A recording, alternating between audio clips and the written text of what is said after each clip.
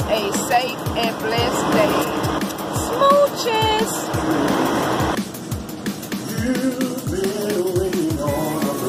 A a.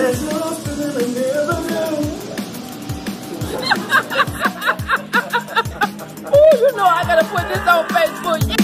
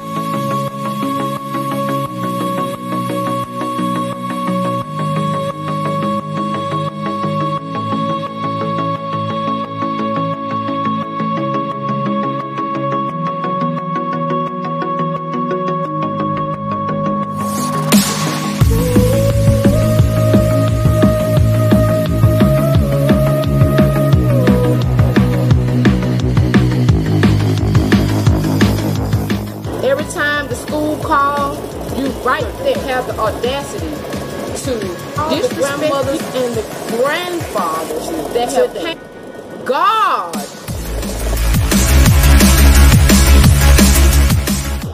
That are praying for a better day oh. and a better, and they find a way to the fathers that are stressed out, to the fathers that have to stick it out and make it work.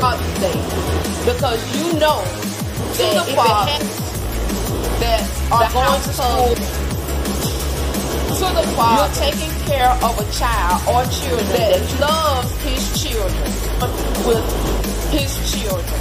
to the father to get them the extra help that they need.